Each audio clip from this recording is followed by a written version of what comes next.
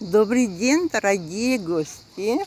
Я рада, что вы подошли к моей лавочке, где я провожу автограф-сессию и приобрели книжку. Покажите, пожалуйста, какую. Абхазия в легендах. Вот. Да. Давайте представьтесь, кто вы, откуда приехали. Мы из тоже красивого города, город Воронеж. Вот у нас, как известно, Петр Первый, в общем, построил корабли, и это как бы первый у нас, мы этим тоже гордимся. Я хочу сказать, э, вы знаете, мы очень любим Абхазию, страна души, но именно здесь э, самое красивое место это Пицунги.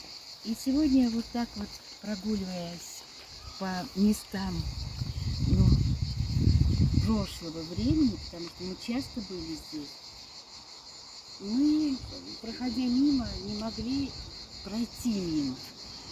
Вот это замечательный книжный, я не хочу сказать выставки, нет. Это книжная работа достояния, достояние души. Спасибо. Достояние красоты. Я просто обратила внимание на вот эту красоту. И вы знаете, сочетание с самой, вот именно, как бы самой создательницей этой книги, книги я увидела закономерное сходство. Вот э, и поняла, что это писалась душа, это писала она. Поэтому именно я подошла сюда, именно взяла эту книгу. Спасибо. И вы знаете, я была просто очарована. Э, когда я листала ее, я увидела, что это прожитая юность, прожитая жизнь, прожитая настоящее и как бы вовлечение в будущее. Потому что вот создать вот такую красоту, написать такие картины, это нужно чувствовать настолько глубоко, настолько внутренне, гармонично быть с природой, с людьми, с красотой с душой. С красивыми людьми. Да. И это незаурядный. Вы посмотрите. Это красота девушки, это не в том, что она э, вот луноликая, и брови у нее как бы очень красивые, а красота в том, какая-то в ней вот гармония природы. Вот гармония, я, например, вижу вот это водопад как будто вот прям вот. Я вижу здесь вот, э, вот, э, вот эта коса, она как бы, ну не знаю, ассоциируется, Володя, с чем ассоциируется? Ну, наверное, вот что есть такой еще мостик, который может девушка все-таки э, преодолевать препятствия, на том и женщины. Вот. И тем не менее, Глаза, они закрыты, но закрыты от блаженства и от удовольствия. И хотелось бы вот это листая, как бы попадаешь в эту, ну, необыкновенно интересный, незнакомый нам мир. Потому что, к сожалению, мы очень мало знаем не только свое, что имеем, но уже не говоря, мы не знаем и те народы, которые очень богаты своим колоритом, своим, своими легендами, своей историей.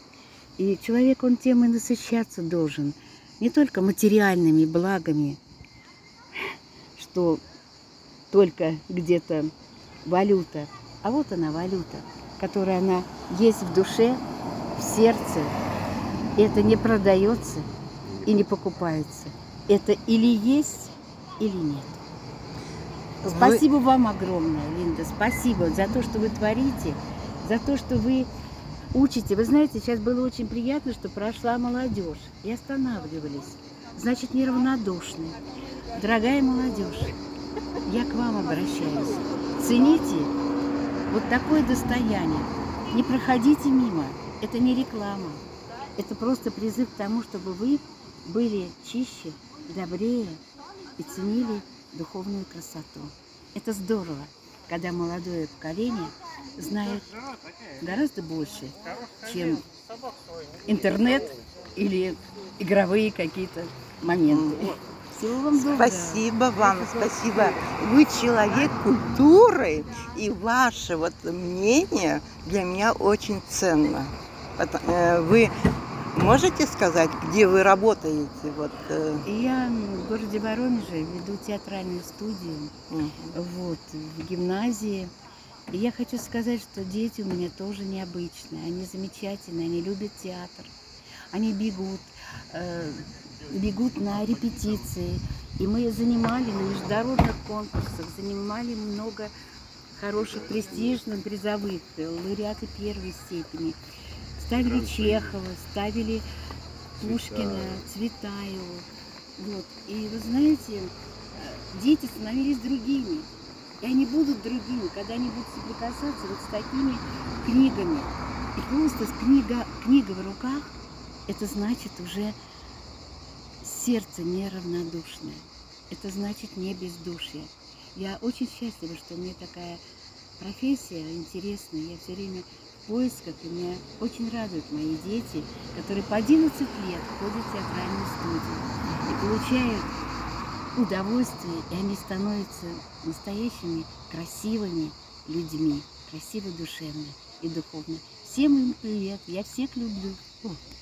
Спасибо. Счастливо отдыхать и большое спасибо вот э, за такой этот ну, Интервью. интервью. Я очень рада. Приезжайте к нам в Абхазию каждый год.